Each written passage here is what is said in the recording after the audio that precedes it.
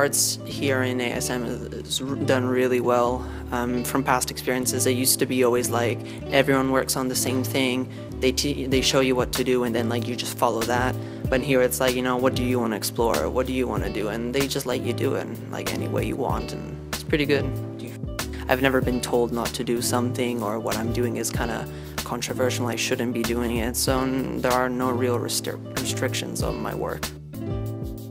I think that the school does have a very strong um, visual arts department um, because um, art is a very big thing. There's art all around the school and we have different um, art exhibitions and stuff and the teacher is very dedicated in arts and she encourages us very deeply and very thoroughly to take art and um, make sure our art pieces are good and like make us connect with our art piece. I think visual arts is a big thing, not only for me, but for a lot of people at the school, and it really helps us um, engage in our learning and show another side to us that we can't probably display in any academic work.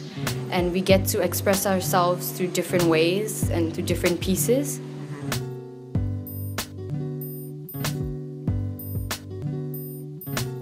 I think our school does allow us to express ourselves and show certain things about, about us without having set any boundaries. We're very freely expressive in our artwork. There are no limits and there are no things that we cannot and can express. It's about just showing who you are. And I think that's a good thing because then we are allowed to express ourselves in our own ways without hiding or holding anything back.